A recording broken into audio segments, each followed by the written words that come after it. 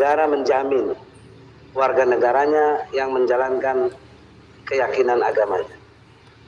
Kalau negara menjamin, dalam hal ini negara ada empat unsur.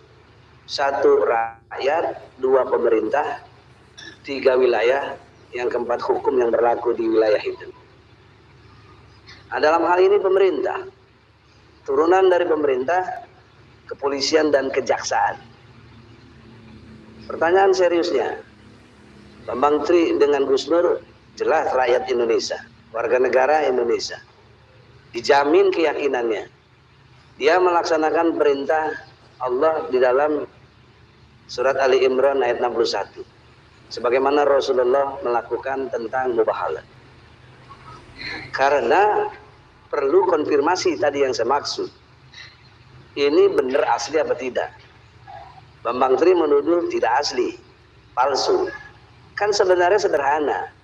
Tinggal Presiden Jokowi harusnya menyampaikan apa yang disebut Bambang Tri tidak benar. Ini yang asli. Sampai hari ini belum pernah ditunjukkan yang aslinya. Sampai hari ini.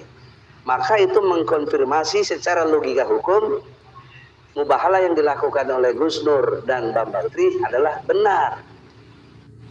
Bahwa ijazahnya palsu. Itu logika hukum. Nah, di sinilah kita bagaimana membela agama Allah yang betul-betul untuk ditegakkan. Gak ada urusannya dengan politik. Gak ada urusannya dengan kepentingan-kepentingan lain. Ini urusannya kejujuran, kebenaran, dan keadilan. Apakah kita mau membelanya dalam peristiwa itu? Bagaimana daya sambut umat? Saudaranya, seiman, seislam, dikriminalisasi, dilakukan penahanan, dan sebentar lagi minggu depan akan disidang karena akan dipindahkan dari Jakarta ke Solo.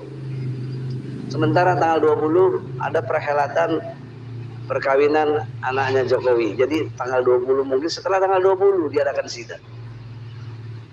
Tidak ada saya melihat responsif secara massal dari kaum muslimin melihat ulamanya dikriminalisasi